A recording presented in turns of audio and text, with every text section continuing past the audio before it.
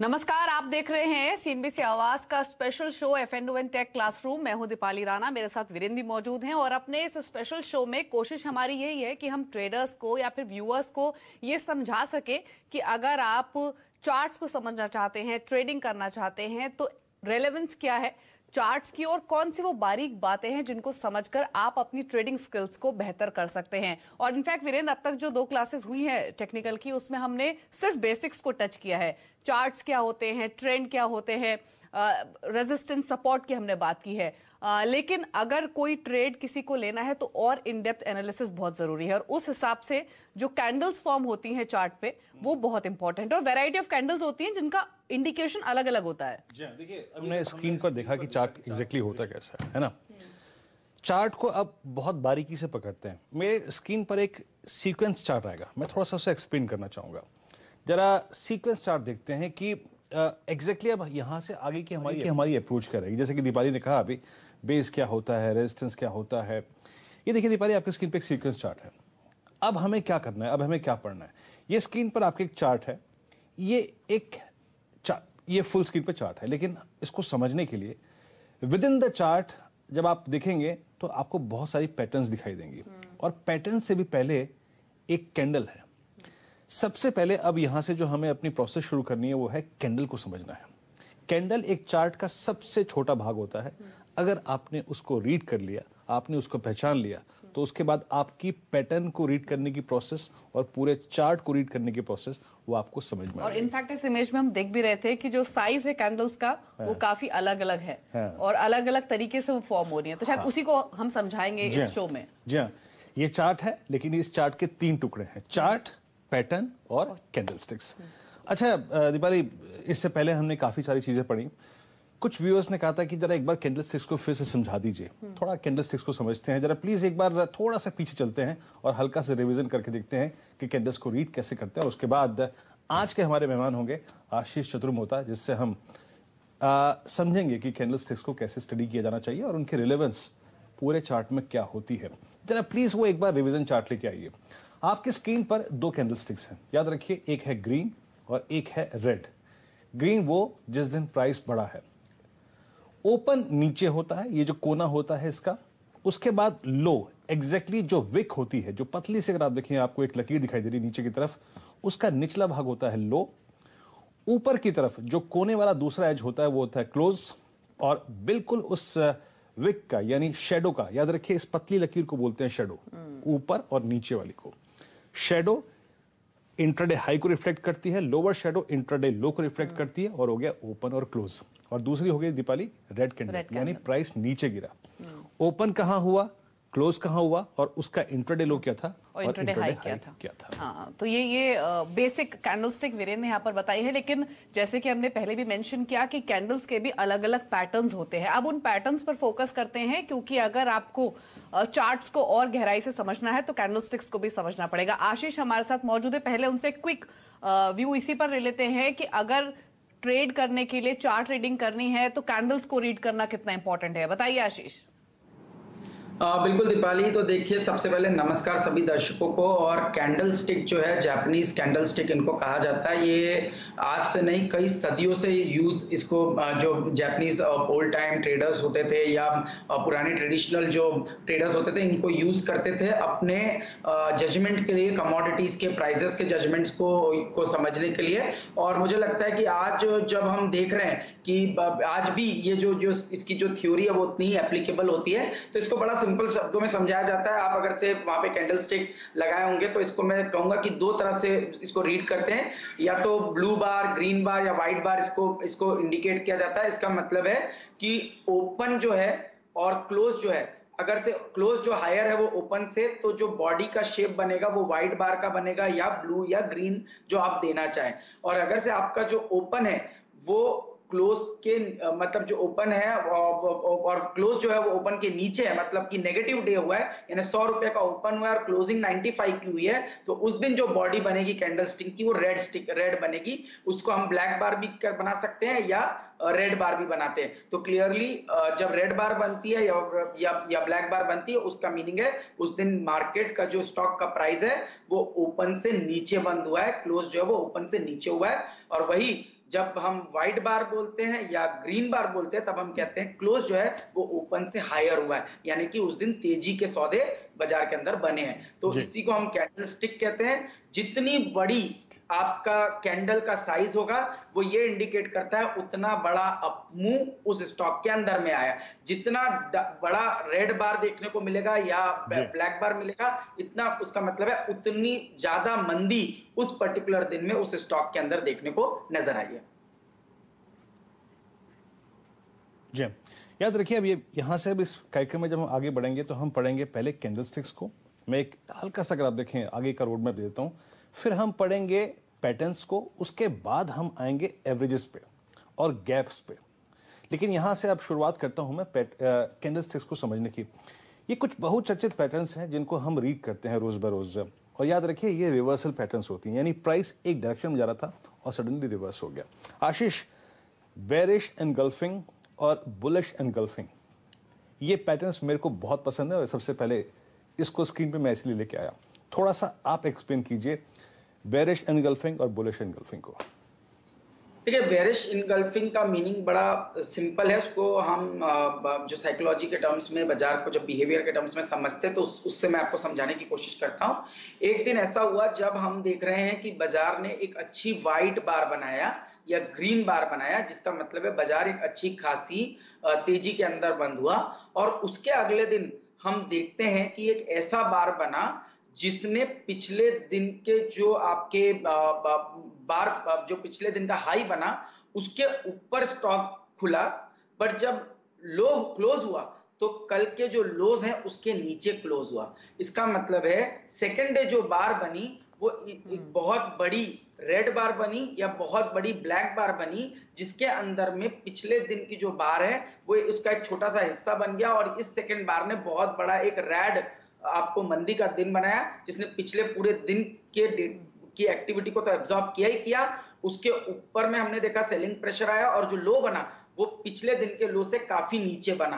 तो ये इंडिकेशन होता है कि आज जो सेलिंग हुई, वो काफ़ी इंटेंस हुई, और इसका मतलब है, अब बाज़ार ने अगर से इसके अगले दिन इस लो को जो सेकंड डे का जो लो बना जिसके दिन जिस दिन काफ़ी सेलिंग हुई उसको ब्रेक किया तो इसका मतलब है मंदी जो है वो कंटिन्यू रहेगी और उसको मंदी के तौर पे देखा जाता है। इसको टेक्निकल लैंग्वेज में जापानीज कैंडल स्टिक के अंदर में टू डे रिवर्सल पैटर्न के नाम से जाना जाता है।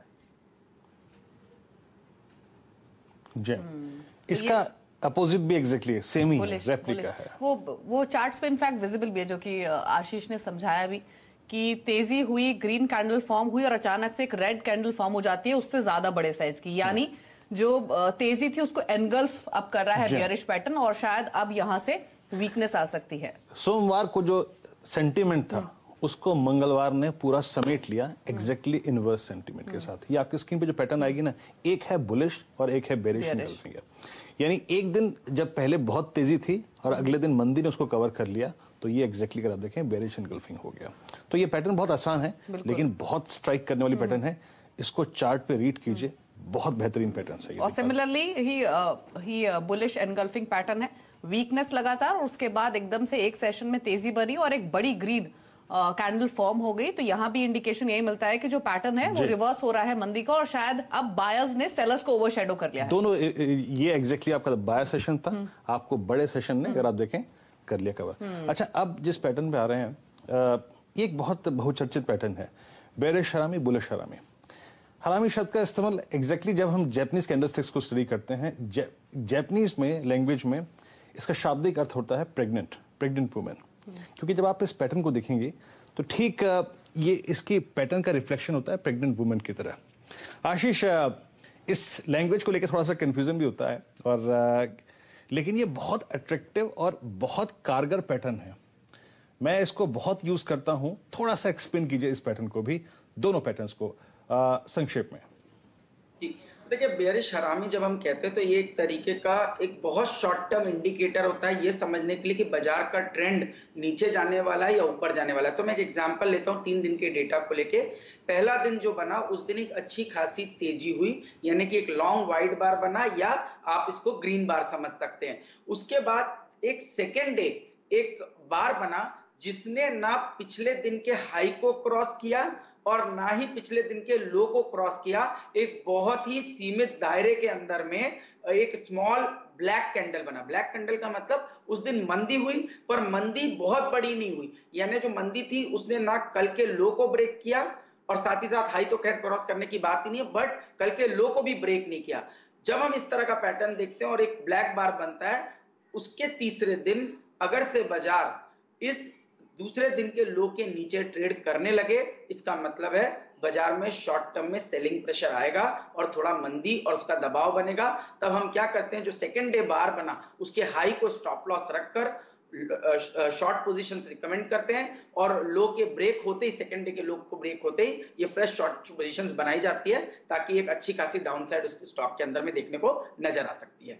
इसी तरह से बुलिश आरामी एक बहुत ही सिंपल पैटर्न है। जब आप देखते हो कि एक बहुत बड़ा मंदी का दिन बना और सेकेंड डे में एक छोटी सी वाइट बार बनी मतलब तेज़ी हुई बट तेज़ी इतनी बड़ी नहीं हुई कि पिछले दिन के हाई को क्रॉस करे तो हम्म। हमको ये हम जब सेकेंड डे में देखते हैं कि एक वाइट बार बना इसका मतलब है आज कहीं ना कहीं जो ट्रेडर्स थे वो वो इस स्टॉक के अंदर में कोशिश किए कि पिछले दिन के लो को ब्रेक ना करे और एक स्लाइटली पॉजिटिव क्लोज आज के दिन हुआ तो जैसे ही थर्ड डे में इस सेकेंड डे के हाई को क्रॉस करते हैं तो तेज़ी की जाती है और सेकेंड डे के लो को स्टॉप लॉस रखकर ये तेज़ी मेंटेन की जाती है और तब आप देखते हैं ट्रेंड रिवर्सल होता है और एक शॉर्ट टर्म तेज़ी आपको बाज़ार के अंदर देखने को मिल सकती है और इसी पैटर्न को कहा जाता है बुलिश आराम। हम्म, तो बियरिश हरामी और बुलिश हरामी आप अगर चार्ट्स देखेंगे और जैसे कि आशीष ने समझाया भी तो बिल्कुल क्लियर है। बेरिश हरामी की बात करें तो लगातार स्टॉक गिर रहा है। अचानक से वो गिरावट रुकी। एक छोटी सी ग्रीन कैंडल फॉर्म हुई, लेकिन अगले दो दिनों में उस कैंडल का साइज़ ग्रीन कलर में ही बढ़ता गया। तो ये एक इंडिकेशन देता है कि शायद अब यहाँ से ट्रेंड जो है वापस ऊपर की तरफ़ आ रहा है। लेकिन अब एक और कैंडल को स्टडी करेंगे, वो है हैमर कैंडल और आपकी स्क्रीन पर हैमर कैंडल लाएँगे भी। आशीष से पहले से समझ लेते हैं कि इसके मायने क्या होते हैं। हालाँकि हैमर कैंडल स्टिक में एक स्टॉक गैप डाउन ओपनिंग करता है। ओपन करता है फिर गैप डाउन होता है और उसके बाद एकदम से तेज़ी से रिकवर होकर अपने हाइस के आसपास पहुँच जाता है। आशीष आप समझाइए हैमर कैंडल क्या होता है इसकी रेलेवेंस क्या है? बिल्कुल देखिए बहुत सिंपल है इसको समझना कि अगर जैसे आपने कहा दो तीन दिन या कंटिन्यूसली गिरावट का दौर चल रहा था और सडनली एक दिन ऐसा होता है कि नेक्स्ट डे स्टॉक जो है वो ओपन तो नीचे होता है। मैं एग्जांपल के साथ, साथ कहूँगा कि कल के दिन जो लो बना वो सौ रुपए का बना। और आज के दिन जब हमने देखा ओपनिंग हुई तो 96 पे हुई। इसका मतलब कल के लो से नीचे ओपनिंग हुई। पर जब स्टॉक ने पूरे दिन में रिकवरी किया 96 से रिकवरी होते होते हमने देखा स्टॉक 105 106 के लेवल पे जाकर के हाई बनाया और उन्हीं लेवल्स के आसपास जाकर के क्लोजिंग दे दी 105 106 के आसपास। तो एक एक एक हैमर पैटर्न बन गया। इसका मतलब है पूरे दिन जो नीचे पे लोअर लेवल्स पे मंदी हो रही थी, उसको ट्रेडर्स ने पूरी तरह से एब्जॉर्ब किया इन्वेस्टर्स ने पूरी तरह से एब्जॉर्ब किया और एक अच्छा खासा रिकवरी पूरी तरह से रिकवरी हुई और डेज़ हाई के आसपास जाकर के स्टॉक ने बंद किया। तो ये हैमर का पैटर्न बनेगा और नेक्स्ट डे जैसे ही आप देखेंगे मार्केट उस हैमर के हाई को क्रॉस करेगा तो नई तेज़ी उस उस पूरे उस मार्केट के अंदर में ट्रेंड जो है वो रिवर्सल होता है आपको नज़र आ ओके ये थी हैमर जल्दी जल्दी दो तीन फॉर्मेशन को आप पूरा करते हैं। हैंगिंग मैन ये आपने बहुत सुना होगा ये इस शब्द को। हैंगिंग मैन और एक डॉजी टेक्निकल्स में इन दो पैटर्न्स का बहुत ज़्यादा रिलेवेंस होता है। और याद रखिए कैंडल्स पे हमें फोकस करना है। उसके बिहेवियर को समझ लीजिए चार्ट्स को समझना आसान हो जाएगा। आशीष हैंगिंग मैन और डोजी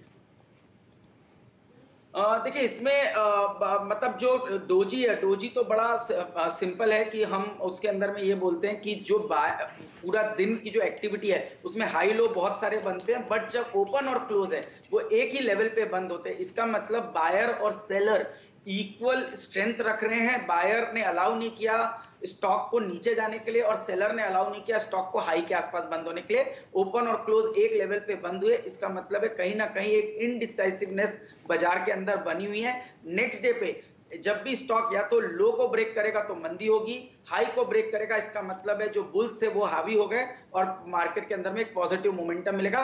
बट क्लैरिटी इस चीज़ की रहेगी कि जो डोजी पैटर्न बनेगा, वहाँ ओपन और क्लोज आपका एक जगह पर रहेगा। ओके. ये डोजी थी और हैंगिंग मैन आशीष से एक्सप्लेन करेंगे? हाँ इसके अंदर में क्या होगा कि आपका जो कैंडल है वो एक बहुत आ, मतलब आप देखेंगे कि एक अच्छा खासा अप ट्रेंड बना। उसके बाद एक गैप अप ओपनिंग जैसी हुई। वहाँ पर पे स्टॉक ने एक रेड बार बनाया स्मॉल रियल बॉडी बनाया रेड बॉडी बनाया।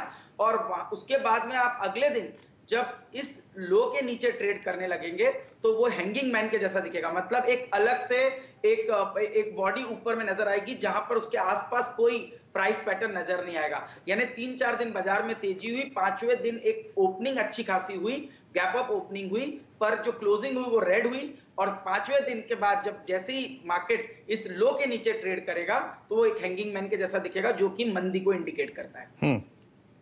हम्म। ओके।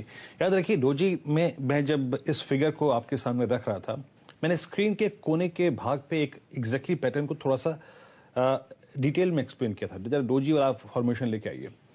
ये होता है पॉज हर चीज़ को पैटर्न्स के मत समझिए। और ये होता है पॉज यानी प्राइस एक डायरेक्शन में था। गिर रहा था, गिर रहा था, गिर रहा था। लेकिन सडनली मार्केट समझ नहीं पाया। बॉस कि अब हम गिर रहे हैं, हमें गिरना चाहिए नहीं चाहिए?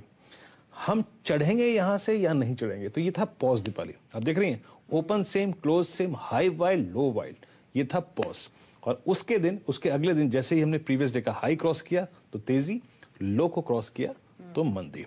तो ये कैंडल्स और साथ ही साथ जो इसके ये विक है ना आप शेडो इस पे थोड़ा सा होमवर्क कीजिए आप। हम्म, बिल्कुल। इनफैक्ट जो चार्ट समझाए जा रहे हैं आप किसी भी स्टॉक का चार्ट अपने घर पे खोल के देखिए। इन चार्ट जो जो समझाया जा रहा है आपको इस शो में, उसको अप्लाई कीजिए उन चार्ट्स पर, तब आप ज़्यादा बेहतर तरीके से समझ पाएँगे। लेकिन एक और कैंडलस्टिक पैटर्न होता है जो कि थ्री लाइन स्ट्राइक जिसे बोलते हैं। आशीष से समझ लेते हैं क्योंकि इसकी रेलेवेंस बहुत ज़्यादा है और बहुत यूज़ भी होता है। समझाइए जरा Ashish three line strike pattern जो होता है कैंडल्स में। जी तो देखिए, इसके अंदर में जो पैटर्न की क्लैरिटी है, वो वो थोड़ी सी डिफरेंट हो जाती है इन अ सेंस कि इसको जब ओके देखिए, आशीष, अभी शामिल होंगे। Three line strike Diwali exactly आप देखें इसमें क्या है? एक बड़ी वाइल्ड बार है। सेलिंग सेलिंग सेलिंग सेलिंग चार दिन से सेलिंग हो रही है। लेकिन पिछले तीन दिन के सेंटीमेंट को, एक दिन के, देखिए, पिछला, मान लीजिए लास्ट जो रेड कैंडल है, ये मंडे है। ट्यूसडे को बाज़ार एक बार फिर से खुला उस क्लोज के आसपास। बिकॉज़ बाज़ार डिलीमा में था कि क्या होगा, क्या नहीं होगा। नीचे भी खिसका, उस मंडे के लो को भी वॉलेट किया। लेकिन सडनली कोई ऐसी न्यूज़ थी? कंपनी का क्लेरिफिकेशन था या बाज़ार में कुछ ऐसा हुआ कुछ ऐसी फोर्सेस आई कि उन्होंने पिछले दिन के सारी फोर्सेस को, को जब मंदड़ी हावी हो रहे थे उनको टेक ओवर कर लिया। तो हमने क्या करा? हमने मंडे के हाई को क्रॉस किया हमने गुरुवार के हाई को क्रॉस किया हमने बुधवार के हाई को क्रॉस किया। तो सर्कमस्टेंसेस बिल्कुल बदल गए। इसे बोलते हैं थ्री लाइन स्ट्राइक अच्छी पैटर्न है। एक और पैटर्न है। जो कि इंटरडे में काफ़ी इंटरेस्टिंग होती है उस पर हम बात करेंगे। हम्म। एक छोटा सा ब्रेक लेकर तुरंत हाजिर होते हैं।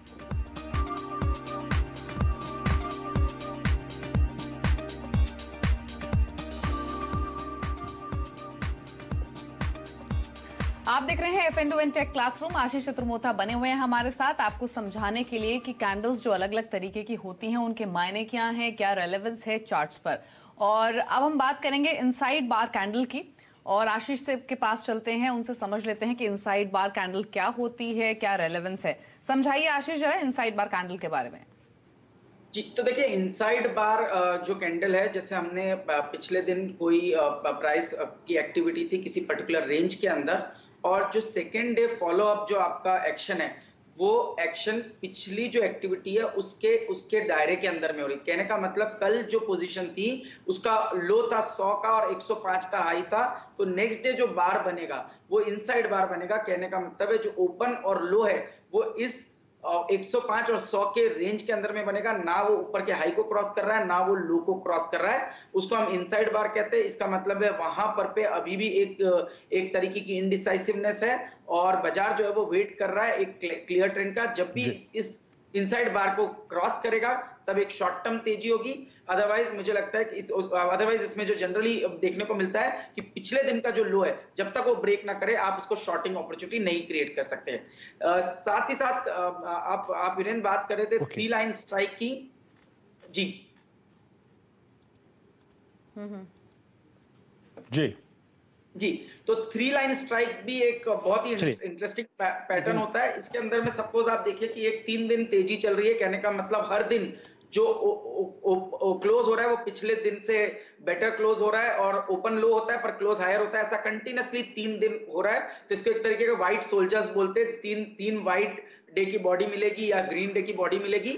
और सडनली एक दिन ऐसा आता है कि एक ब्लैक बार बनेगी जो लास्ट तीन दिन के लोस को हिट कर देगी इसका मतलब है जो एक एक ही जो डाउन मूव है वो कहीं ना कहीं शॉर्ट टर्म जो मोमेंटम है उसको ब्रेक करेगा उसके अंदर वीकनेस क्रिएट करता है और बुल्स की ताकत को थोड़ा कम करता है तो ये जो थ्री लाइन स्ट्राइक होती है इसके अंदर में जो फोर्थ हाँ। बार बनता है ना ऐसे बोलने के लिए ये थ्री लाइन स्ट्राइक कहते हैं but actually four line strike होता है जिसके अंदर हाँ। तीन बार जो है वो पॉजिटिव साइड पे बनती हाँ। और फोर्थ जो बार होता है उसके अंदर एक सेलिंग प्रेशर आता है और ये सेलिंग प्रेशर इतना इंटेंस होता है okay. कि लास्ट तीन दिन के जो लोज हैं उनको ब्रेक करने की या उसको छूने की ये पूरी कोशिश करता है उनको वाले करता ओके okay. याद रखिएगा ये जो हमने पैटर्न पढ़ी थी ना inside bar candle stack candle formation ये इंट्राडे में जब आप इंट्राडे ट्रेडिंग करते हैं तो बहुत बहुत कारगर होती है तो चार कैंडल स्टिक्स का इंतज़ार कीजिए पांचवी कैंडल स्टिक में जहाँ भी ब्रेकआउट ब्रेकडाउन आए तो उसको ट्रेड कीजिए और इंट्राडे में। आशीष मॉर्निंग स्टार और शूटिंग स्टार आई थिंक ये दो ट्रेड्स में और दो पैटर्न्स और कवर करना चाहता था। जरा थोड़ा सा इनको भी एक्सप्लेन कीजिए। मॉर्निंग स्टार जो पैटर्न है, वो भी अपने आप में बहुत ही एक बढ़िया पैटर्न होता है। इसके अंदर में हम हम लोग देखते हैं कि जो एक दिन फॉल होती है बड़ी और उस फॉल के बाद नेक्स्ट डे स्टॉक एक छोटी सी बॉडी बनाता है। प्रीवियस डे को लो को ब्रेक करता है बट क्लोजिंग जो है वो हायर साइड पे देता है। यानी पिछला दिन रेड बार का था, अगले दिन हम खुलते नीचे हैं, पर क्लोजिंग एक स्मॉल बॉडी के अंदर में ग्रीन बार की या व्हाइट बार की करते हैं, और उसके बाद में नेक्स्ट डे हम आज जो आज जो छोटी सी बार बनी थी उसके हाई को क्रॉस करते हैं और पिछले दिन के पहले का जो हाई बना उसको टेस्ट करते हैं। इसका मतलब एक क्लियर रिवर्सल पैटर्न होता है जिसके अंदर एक अच्छी खासी तेज़ी होती है जहाँ पर आप ये बोल सकते हो कि जो मंदी थी उसको पहले पॉज किया गया नीचे से रिकवरी ली गई और अगले दिन एक बड़ी तेज़ी हुई जिसने परसों के पूरी मंदी को कवर करके उसके हाई के आसपास बंद किया। तो फॉलो अप जो दिन होते हैं उसके अंदर ये माना जाता है कि आने वाले दिनों में एक अच्छी खासी तेज़ी देखने को उसमें नज़र आ जाती है। हम्म। हम्म, तो ये मॉर्निंग स्टार कैंडल के बारे में आशीष ने बताया। और इनफैक्ट आज के इस एपिसोड में हमने जो कैंडल्स पर डिटेल फोकस किया है उम्मीद ये करते हैं कि आपको ये समझ में आया होगा कि जो अलग अलग तरीके की कैंडल्स होती हैं उनके मायने क्या होते हैं उनको कैसे रीड किया जाता है। और सोशल मीडिया प्लेटफॉर्म्स पर भी ये शो हमारा अवेलेबल रहेगा तो आप वहाँ भी दोबारा देख सकते हैं और इस स्टडी को अप्लाई कर सकते हैं। लेकिन वीरेन अगले एपिसोड में हमारा फोकस ट्रेंड लाइन्स पर? पहले तो आपको मेहनत करनी है, बहुत सारी पैटर्न्स अभी बाकी हैं जिसको हम कवर नहीं कर सकते, आप जाइए कवर करिए इनको रीड कीजिए और दूसरी बात, अगले एपिसोड में हम देखेंगे एग्जैक्टली पैटर्न्स कैसी कैसी होती हैं, जो कि दस बारह अच्छी पैटर्न्स होती हैं, जो कि कारगर होती हैं। उनको रीड करेंगे अगली बार। चलिए इस खास शो में इतना ही, अगले हफ़्ते फिर हाजिर होंगे। नमस्कार।